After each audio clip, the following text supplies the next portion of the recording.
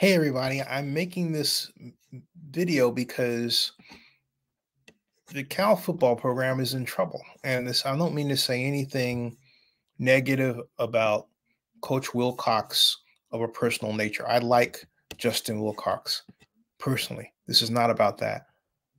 This is about our program. This is about Cal's football program that has been headed in a constant nosedive direction.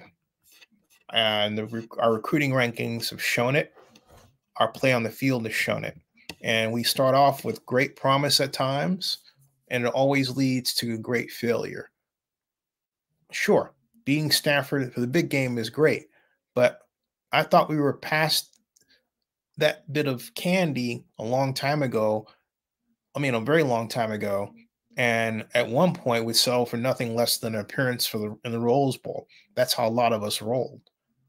Now it should be a national championship because with all the constant moving chairs and change, I think it should be quite evident that the ability for Cal to achieve the level of national champion is better than it's ever been. And you would say, what am I talking about? I'm saying simply that our players are not being coached well enough to be competitive on the field.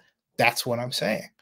I'm saying that we can get a person who understands how to build a quarterback, has a track record of building quarterbacks, and a track record of being a head coach in football at the professional level with the XFL, worked in college uh, in Michigan, worked at Stanford. We all know who Pep Hamilton is. Pep Hamilton is now 49 years old and he is at the NFL network when he really should have a high ranking job somewhere. Why not Cal? So, what I'm saying is let's just stop the insanity and make a change. Bring in Pep Hamilton mid-season, let him grow into the program, manage it, work it, and then get us ready for a transfer to the ACC. Because right now we're not ready. Okay. When I'm saying, when I say we're not ready, I'm saying we're not ready to face the constant onslaught of competition from a group of football programs ran by people who actually eat, sleep, and drink football. Okay. That's what I'm saying. Pep understands enough to know that he doesn't have to do a lot to get a lot because he knows what to do.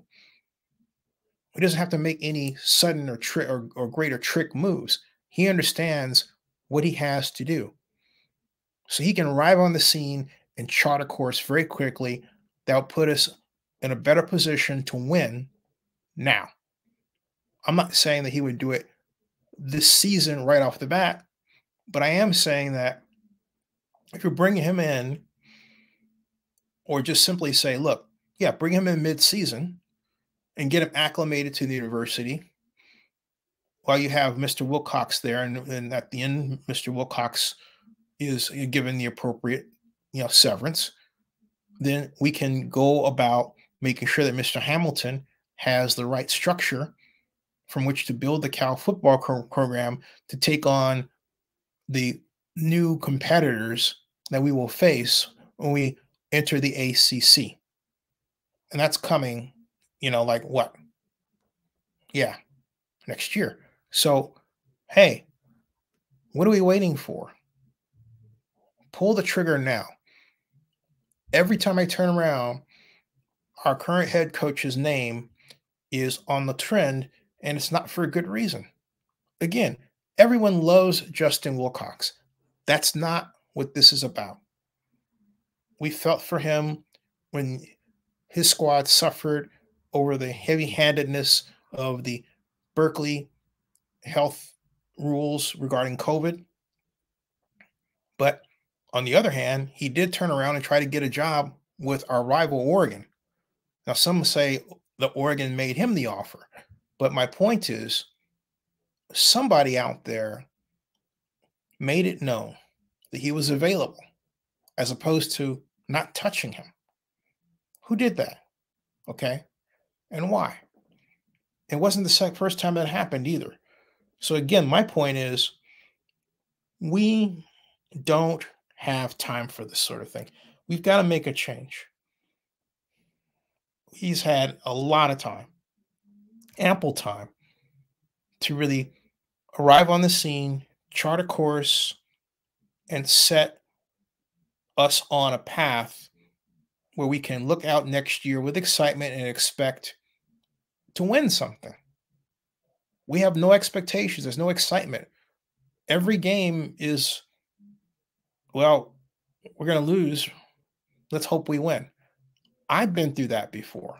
A number of us have. We don't want to go back to that. There's no reason to. Look at the impact that Deion Sanders has had on Colorado. Everybody gets up to play for Colorado. So Colorado is getting everyone's A game. All right. But the reason why Colorado is getting everyone's A game is because they were putting an A effort on the field with new players. All right. And and they gave Colorado an identity that translated into one thing dollar signs. We need a change. We need to come into the modern era and stop this messing around.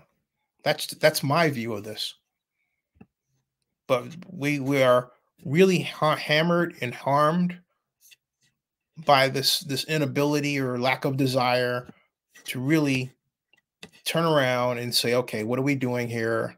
Uh, and uh, how are we going to approach this? Why are we not approaching this in the proper way? Ask those questions, come up with the answer the same time that we ask the question, and then make the change, pull the trigger.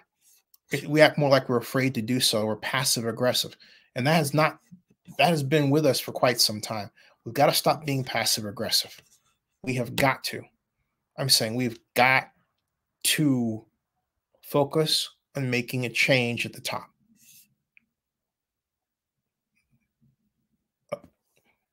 I would love to hear your reasons why we shouldn't do this. It's not personal, it's only business. Because right now, at the business of football, we're not doing well. We need to do better. That's the problem. You know it as Cal people. I know it.